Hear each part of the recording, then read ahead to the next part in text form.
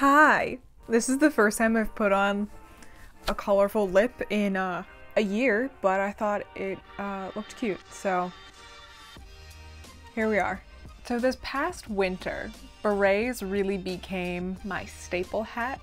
I am continuing to wear them into the spring. However, I don't think I need my thick wool one, so I wanted to make something that was slightly more lightweight with a lighter weight yarn. And I thought we could do it together. So we want to take you along on this journey of me knitting this gorgeous red beret. So you can see the very first one that I made of these in my Everything I Knit in 2020 video, and I made a follow-up, a second one. And then I made a third because maybe I have a friend that would like it.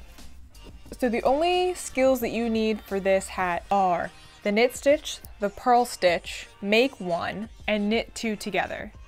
That's it. Pretty good, I think, starting project for somebody that may want to start adding these kind of shaping elements in, and you also get this gorgeous pinwheel effect from those knit two together. So tools that you'll need are circular needles or double pointed needles, whatever flavor of yarn you want, and a stitch marker. I mean, at the end as well, you should get like a darning needle or yarn needle so you can weave in the ends and finish your project. So I'm using a medium weight yarn with size 7 needles. First thing you're going to do is cast on 72 stitches. I like using the long tail cast on, but I can't see why any other semi-stretchy cast on wouldn't work.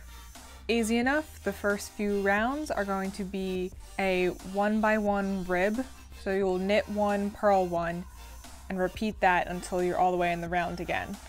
And then just knit one, purl one, knit one, purl one, knit one, purl one, knit one, purl one. Until your piece is two inches long. Then you will knit one round, just the knit stitch. Once you've completed that, we will now do a knit two, make one. This will bring us from 72 stitches to 108 stitches. The way I make one for this hat is I pick up the stitch from in between two stitches to create a new one and then I knit it through the back loop so that it kind of twists the yarn and we don't have a hole.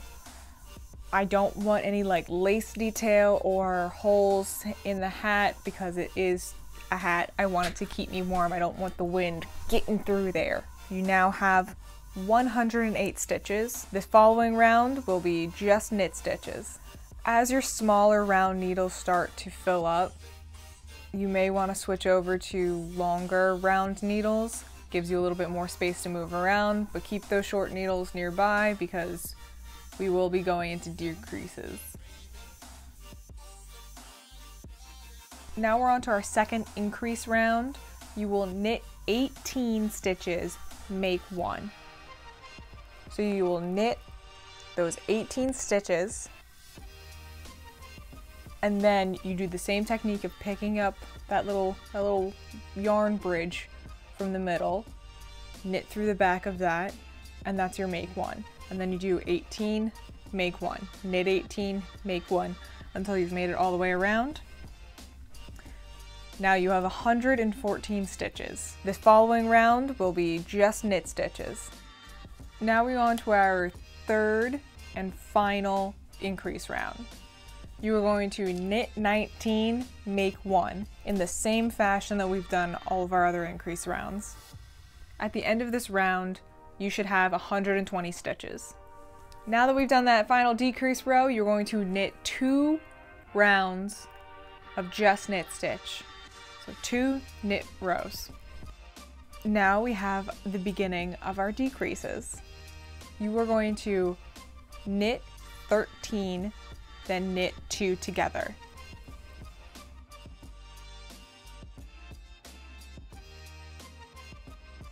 Doing this will reduce by eight stitches total because that is how many spirals we want to be doing. So knit two together is one of the simplest decreases that you could do and as the name says it, you knit two stitches together.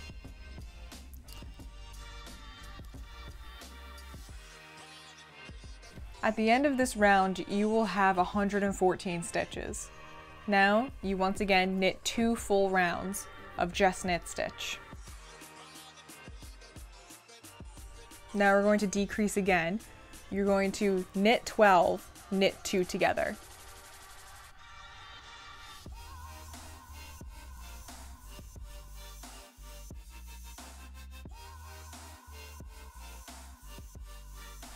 Then you do a round of knit stitch. The next round is a decrease round where you knit 11, knit 2 together, followed by a row of knit stitch.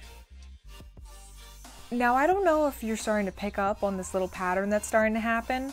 As we're decreasing the hat down, we are alternating between a knit row and a decrease row, and those decrease rows are decreasing the number of stitches that are there. So we went from knit 13, knit 2 together, knit 12, knit 2 together, knit 11, knit 2 together.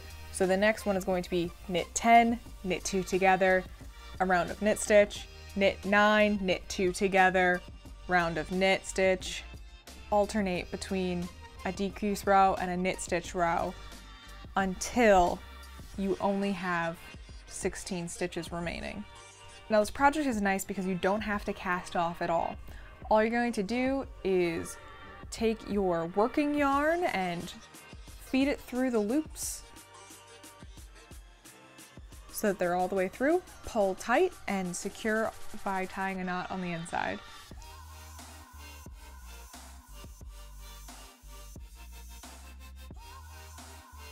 And there you go, you have a pinwheel hat. You can see the pinwheel formation as it starts to come together. Those knit two togethers is what's pulling it in that arcing shape. Then you want to weave in your ends.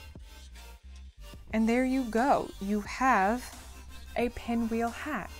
I think it's a wonderful springtime hat now with a lighter yarn. It doesn't really warm your head too much. Am I not adorable? I like it. I feel cute. It's barely on my head, but since I have short curly hair, these are also great at covering awful bedhead when I don't want to do my hair in the morning. All I have to do is just make sure the front bits look kind of cute and then. And yeah, you don't have to wear it like I have here. You can wear a more traditional beret style.